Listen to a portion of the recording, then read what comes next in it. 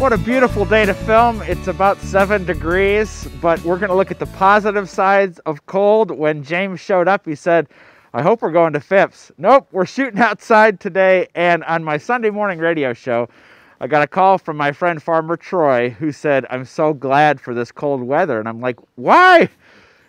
Hemlock woolly adelgid. This is the only thing that will kill it. You know, we have lost our ash trees to emerald ash borer hemlock trees are at risk and I treat this during the season with horticultural oil, but the best thing that can happen is frigid temperatures, and so we're dancing with joy. All right, let's get into the garden and take a look at some positives of this cold weather.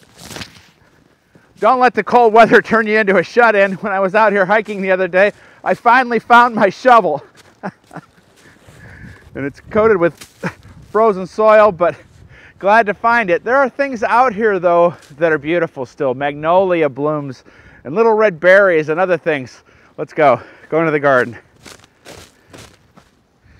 Oh, I'm discovering all sorts of things out here. Don't leave your tools out in the garden. Well, on my winter hike, I saw the deer are devastating this mountain laurel. It's one that I absolutely love when it blooms. You won't believe it. They're not supposed to eat this. It's supposed to be poison to them, but they are taking the buds off. And I always use this Bobbex. And as James can attest, it smells awful. That's the idea to keep the deer off it.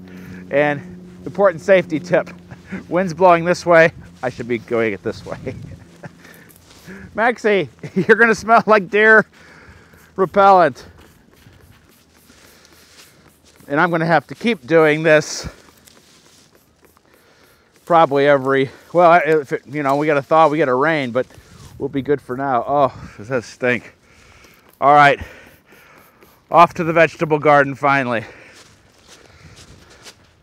Well my new year's resolution was an early one. You saw when we got all this manure for this tomato bed i have to do better with my tomatoes and so during this cold weather, what I'm doing is spending time with my seed catalogs. And I found a couple tomatoes that I have to grow next year. Check out Dark Galaxy from Baker Creek Heirloom Seeds. Look at the way that thing looks.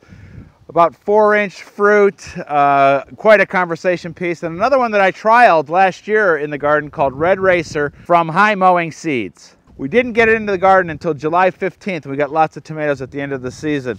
The other thing that I'm concerned about is my fig. What will this cold weather do to this fig? And we won't know that until early in the spring. All right, we have one more stop and we're gonna finish up. Well, believe it or not, we still have some greens left in here. They do not look great, but they are gonna reconstitute themselves when things warm up. And I'm just excited to have something out there. Those are like frozen solid, but we will be picking them. All right, now it's time to finish up. Well, during this cold snap, it's a good time to read about gardening. Find me online. Lots of information on there about all sorts of things gardening. And the very best thing about cold weather like this is it makes spring all that much more sweet. And as we leave, check out these pictures from the spring and summer and enjoy. And we'll see you next week, hopefully on a warmer day.